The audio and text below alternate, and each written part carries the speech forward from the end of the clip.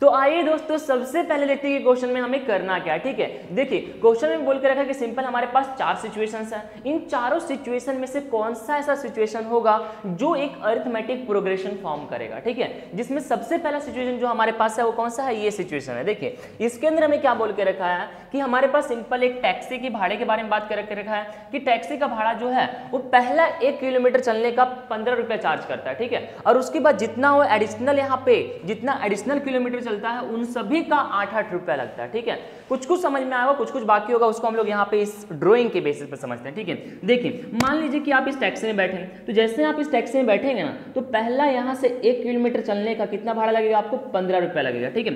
और उसके बाद फिर जितना आप एडिशनल किलोमीटर चलेंगे, जैसे कि यहाँ पे पंद्रह एक किलोमीटर हो गया, अब ये एक किलोमीटर वापस ट्रैवल करेंगे तो आपको पंद्रह रुपये पे नहीं करना पड़ेगा सिंपल आठ रुपये पेड करना पड़ेगा।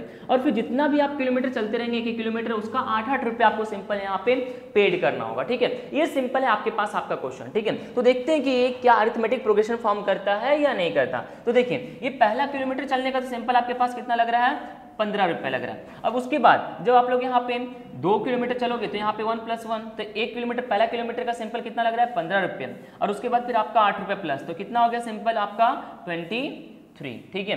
अब अब तीसरी किलोमीटर पे आप जाओगे तो कितना हो जाएगा आपका? One plus one plus one तो पहला वन किलोमीटर का यहाँ पे पंद्रह रुपया।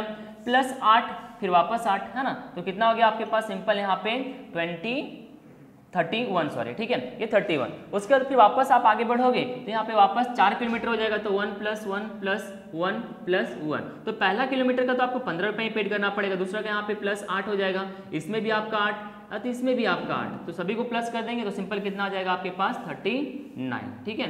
तो देखिए, ये सिंपल आपके पास क्या आ गया? ये आपका, ये फेयर्स आ गए इसके। पहला फेयर कितना है? पंद्रह, फिर तेईस, फिर थर्टी वन फिर थर्टी नाइन तो क्या एक अर्थमेटिक प्रोग्रेशन है? इसको आप लोग चेक कर लो ना। कैसे चेक करोगे? सिंपल यहाँ पे डी की वैल्यू निकालो। तो डी निकालने के लिए हम लोग सिंपल क्या करेंगे? A two minus A one है ना? तो ए ए हो गया आपका ए वन ठीक है? तो देखते हैं इसको सॉल्व करके। तो यहाँ पे सिंपल ए टू कितना हमारे पास? 23 और ये कितना आपके पास? 15 तो यहाँ पे कितना आ गया? 8 आ गया. सेम टू सेम आप एक और चेक करके देख लो। तो यहाँ पे ए थ्री माइनस क्या कर लेंगे? ए टू करेंगे। तो ए थ्री कितना हमारे पास? 31 और ये कितना आपके पास? 23 तो कितना आ गया? एट ही आ गया। ठीक है? तो ये सिंपल हमारे पास सभी का डिफरेंसेस जो है कॉमन डिफरेंसेस क्या है? सिंपल सेम है। तो एक अरिथमेटिक प्रोग्रेशन है। ठीक है? ओके okay, और उससे पहले मैं आपको बोलना चाहूँ कि अगर आप लोगों को ए क्या होता है डी क्या होता है या फिर ये सब टर्म्स में कुछ भी दिक्कत है।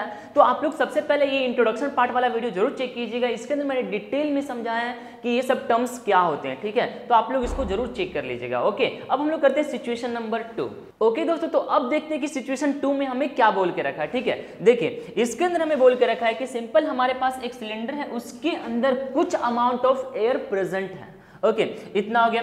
अब उसके बाद क्या बोला है कि सिंपल हमारे पास एक वैक्यूम वैक्यूम पंप है वो एक बार में, ठीक है वन फोर्थ पूरे सिलेंडर के अंदर जितने भी एयर प्रेजेंट है ना, उसका वन फोर्थ क्या करता है? एक ही बार में क्या करता है? वो रिमूव कर देता है, ठीक है? बस इतना खाली आप लोग ध्यान समझ लीजिए। तो थोड़ा सा मैं इसको और भी यहाँ पे इस एग्ज़ाम्पल के थ्रू समझाता हूँ कि किसी भी किसी भी नंबर का वन फोर्थ निकालना हो तो हम लोग सिंपल क्या करते हैं उसको?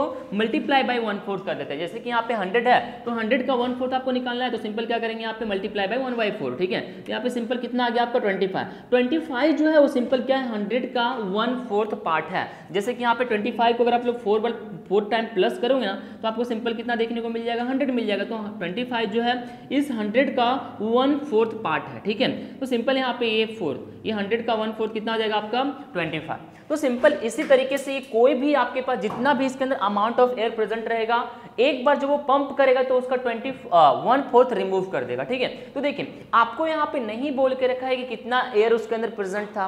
तो मैं यहाँ पे सिंपल कुछ नंबर लेट कर लेता हूँ, ताकि आप लोग को अच्छी तरीके से समझ में आए, ठीक है? तो मैं यहाँ पे उसको लेट कर लेता हूँ।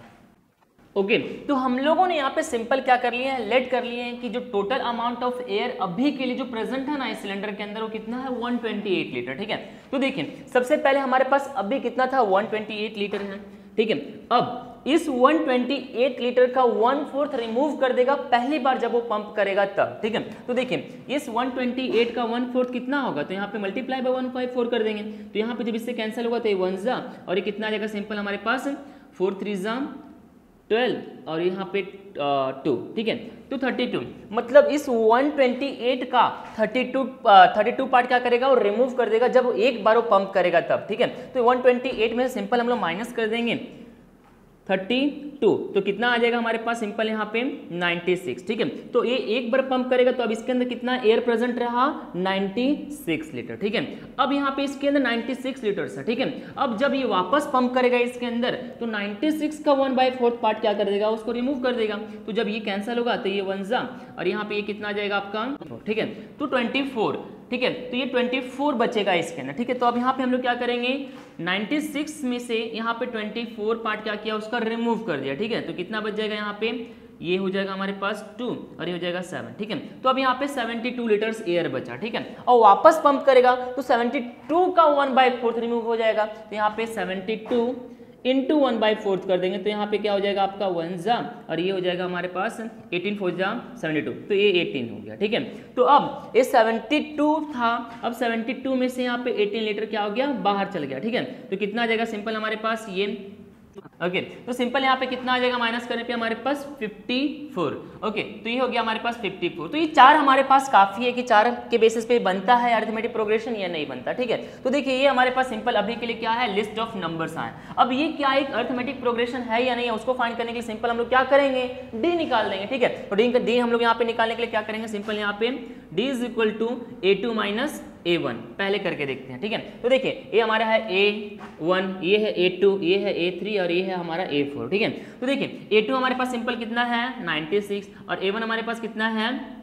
128 तो जब हम लोग इसको इससे माइनस करेंगे तो कितना आएगा? माइनस थर्टी टू ठीक है? तो इसके इसके बीच में कितना डिफरेंस का है? माइनस थर्टी टू का। अब हम लोग देखते हैं इसमें भी क्या डिफरेंस सेम ही है। तो इसको मैं यहाँ पे सॉल्व करता हूँ। तो डी इज़ इक्वल टू क्या हो जाएगा हमारे पास अभी के लिए? A three minus A two तो देखिए ए थ्री हमारे पास कितना है? सेवेंटी टू और यहाँ पे ए टू कितना है हमारे पास? सिंपल नाइन्टी सिक्स तो जब आप लोग इन दोनों को माइनस करेंगे तो कितना देखने को मिलेगा आपके पास? माइनस ट्वेंटी फोर तो देखिए, यहाँ पे थर्टी टू माइनस का और यहाँ पे माइनस ट्वेंटी फोर तो क्या ये इक्वल है? नहीं है, ठीक है? तो जब हमारा डी ही कॉमन नहीं है तो ये हमारा अर्थ एक अर्थमेटिक प्रोग्रेशन है ही नहीं, ठीक है? तो ये सिंपल है आपके पास it is not a AP just आप लोग ऐसे इसको लिख देना, ठीक है? तो ये था आपका पार्ट टू का आंसर अब हम लोग मिलते हैं पार्ट थ्री पे, ठीक है?